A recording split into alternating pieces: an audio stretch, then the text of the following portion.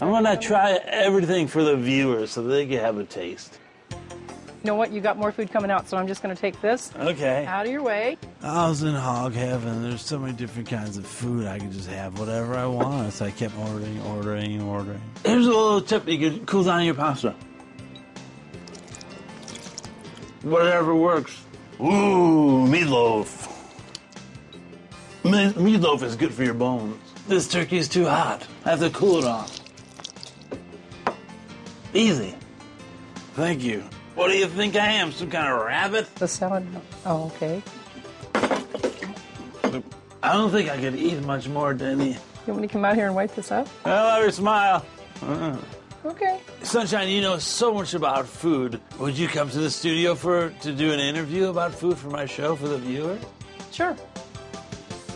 Check, please. Oh, she is such a beautiful lady.